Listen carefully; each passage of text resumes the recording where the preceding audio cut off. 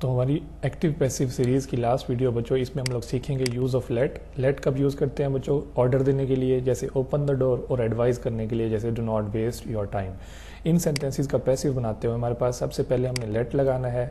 ये open the door है ना, इसमें हम लोगों ने अब इसकी चेंजेस करनी है तो सबसे पहले लेट आ जाएगा, फिर सब्जेक्ट फिर बी और फिर third form open the door अब बच्चों, ये देखें ये जो डोर है, ये हमारा जो है, वो सब्जेक्ट के तौर पर रिएक्ट करेगा यहाँ पर।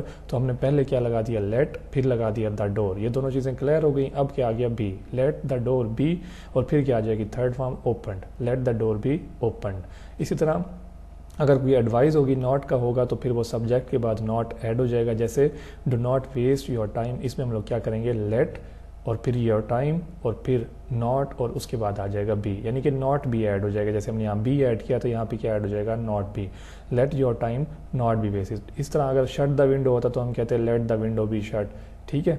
इसी तरह यूज़ ऑफ़ हु की बच्चों अगर बात करें तो ये क्वेश्चन पूछने के लिए होता है, जैसे who will help you he who is knocking at the door in cases में हम लोग क्या यूज़ करते हैं? हु यूज़ करते हैं। तो बच्चों, आपने क्या करना है? सबसे पहले तो आपने हु को चेंज करके बाई होम लिख देना है। शुरू में ही आएगा, यानी हु को चेंज करके हमने उसकी जगह पे क्या लिखना है? बाई होम तो बाई होम लिखने के बाद अब हम लोग हेल्पिंग वर्ब ऐड करेंगे सब्जेक्ट ऐड करेंगे बी ऐड करेंगे और थर्ड फॉर्म इसी एग्ज़ाम्पल को लेते हैं who will help you okay who की जगह पे क्या लगाएँगे? बाय होम बाय होम के बाद क्या आना चाहिए बच्चों? हेल्पिंग वर्ब तो इस सेंटेंस में हेल्पिंग वर्ब कौन सा है?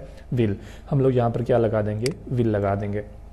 यू के साथ वैसे भी विल आता होता है तो फिर हम लिखेंगे बाय होम विल यू और उसके बाद क्या आ जाएगा? बी यानी बाय होम ये हेल्पिंग वर्ब सब्जेक्ट सब्जेक्ट कौन सा है? यू उसके बाद क्या आएगा बच्चों? Be by whom will you be इस तरह हो गया और फिर थर्ड फॉर्म आ जाएगी हेल्प्ड यानी इन सेंटेंसेस को बनाने का स्ट्रक्चर ये होगा।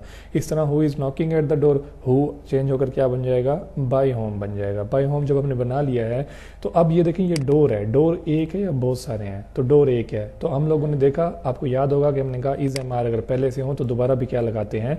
इज़ एम आर और अगर आई एन जी फॉर्म हो तो हम क्या लगाते हैं? बींग तो अब ये डोर एक है, इसलिए हम लोग यहाँ पर इज़ दोबारा लगा देंगे बाय होम इज़ अब किसकी बारी है बच्चों? ये डोर की, ये आगे यहाँ पे। By whom is the door अब नॉकिंग है क्योंकि आई एन इसलिए इसी के अंदर क्या आ जाएगा? Being by whom is the door being और फिर थर्ड फॉर्म आ जाएगी नॉक्ड और ये एट जो है वो एंड में आ जाएगा।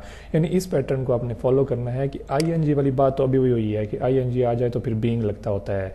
थर्ड फॉर्म आ जाए तो बीन लगता होता है। वो चीज़ तो वैसे अपनी जगह पर आ जाएगी। हमने ये इसके अंदर हु का यूज़ देखे कि हु को चेंज किसमें करते हैं? बाय होम में। तो ये बच्चों एक्टिव पैसिव सीरीज़ थी। इसके अंदर हम लोगों ने तमाम जो है वो लेक्चर्स को कवर किया है, तमाम पॉइंट्स को डिस्कस किया है और आई होप कि आपको समझ भी आ गई होगी।